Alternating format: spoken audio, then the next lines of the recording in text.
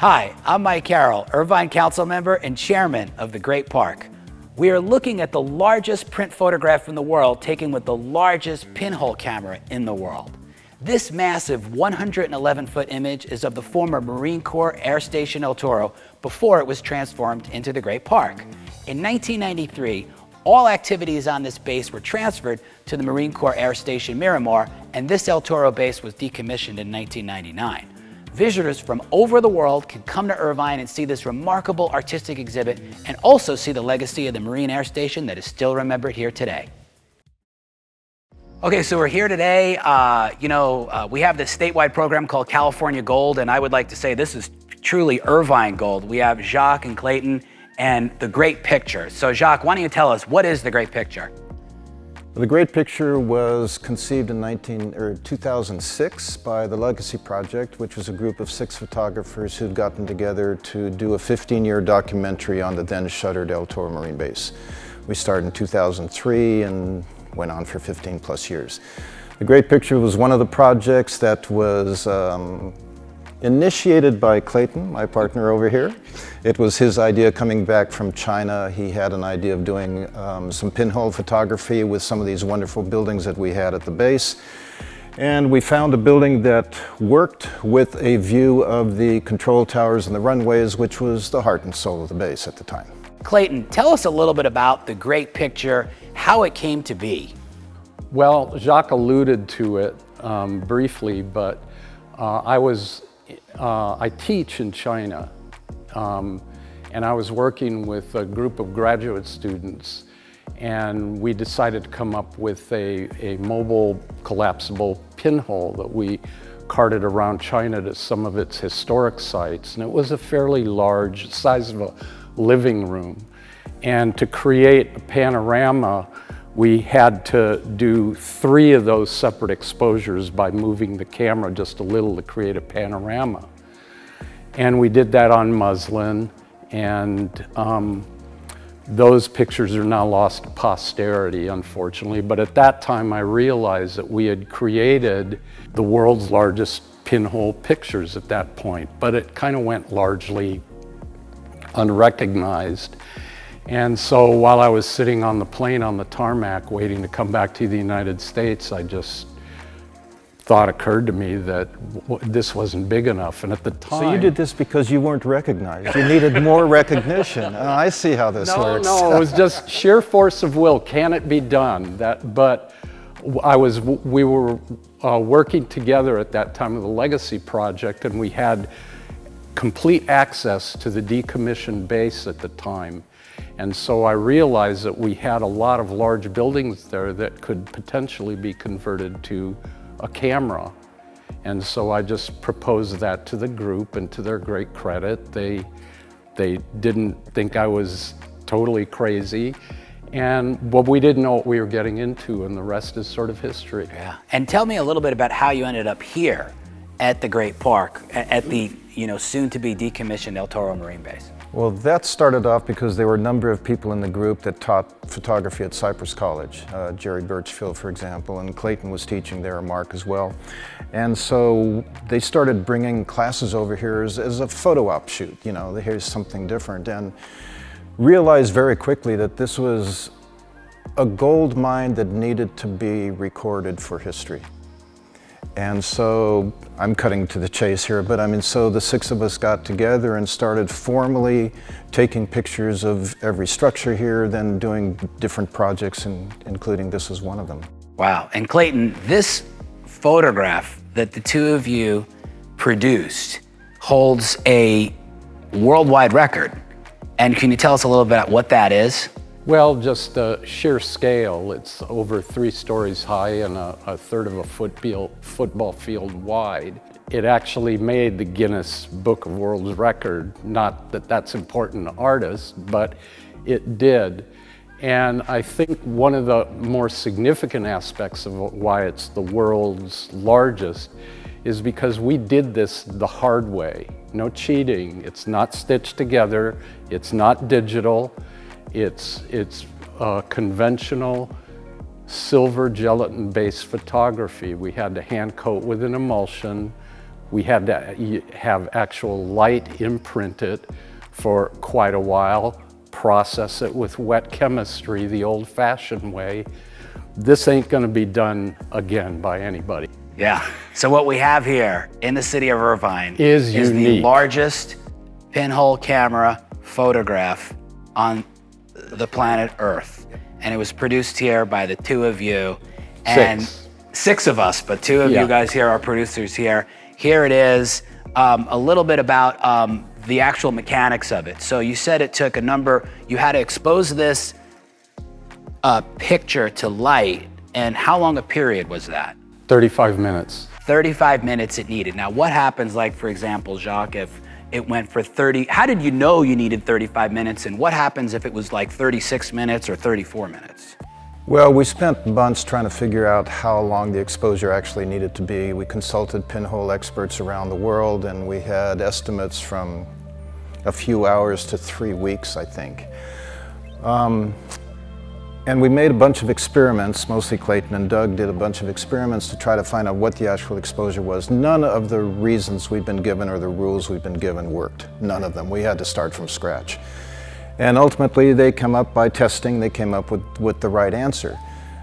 If the exposure had been longer than 35 minutes, we would have gotten whiter, less and less detail. It would have become whiter and whiter to the point where you wouldn't have anything. So this was a one-shot deal. There was no going back. Um, we were on pins and needles the night we did this, uh, just hoping beyond hope that it would, would work. And then would you say, how, what, tell me about the moment at which you knew. You said, I think to me, Clayton, that uh, a custom uh, developing area was built to develop the photograph. So tell us about that and at the moment. We had on site, because of the nature of this thing, we had to actually construct the world's largest chemical processing tray or tank. And that was built with, with wood and basically pool liners. And we had to flood that with developer with 10 marine pumps. And we had to then take that out and put in fixer. And we had to do this in the same time frame that somebody in a dark room with hands on trays had, just a few minutes.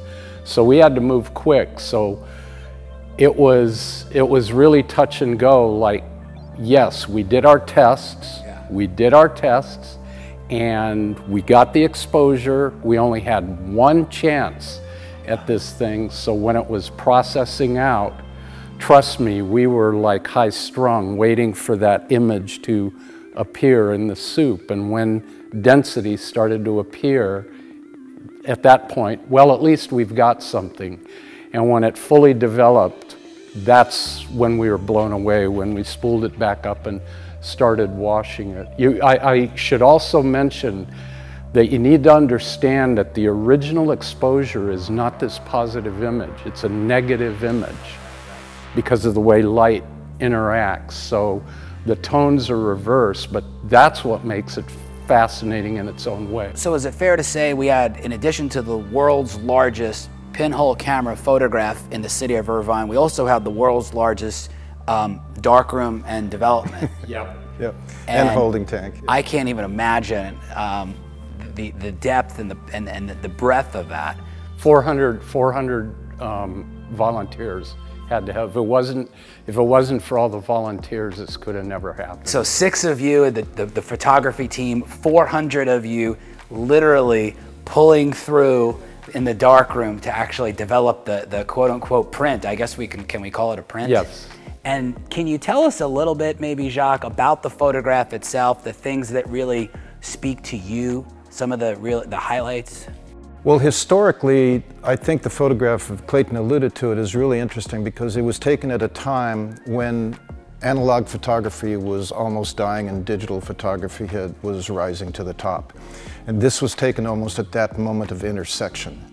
Um, interestingly, this is all analog, but digitally it had been reproduced within 24 hours, I don't know, in 300 different sites around the world. Um, as far as the image itself, what what I appreciate about it, it's very impressionistic, which I think really gives it a nice historical feel to it. Um, the detail along the important part, which is the control towers, You know, the palm trees, you even have a toilet over there. Everything is in crisp detail.